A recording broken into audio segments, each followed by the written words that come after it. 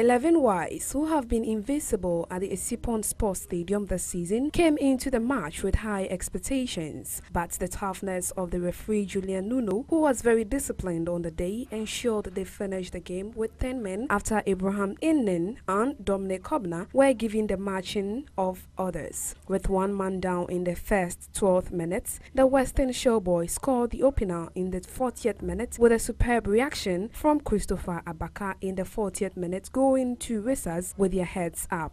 ampa ampa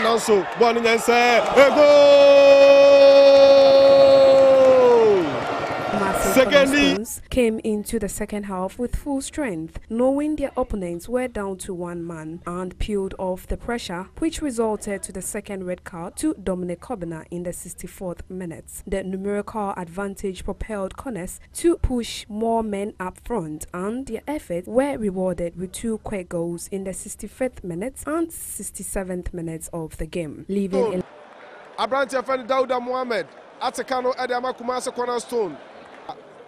Ɛno nso ɔmo ne proud united ɛbɔ two-two nanso na wie wobɛpiem ɛwɔ essipong sports stadium a scoreline ɛyɛ eleven wise one cornerstone wɛrɛ sɛ wobɛto ego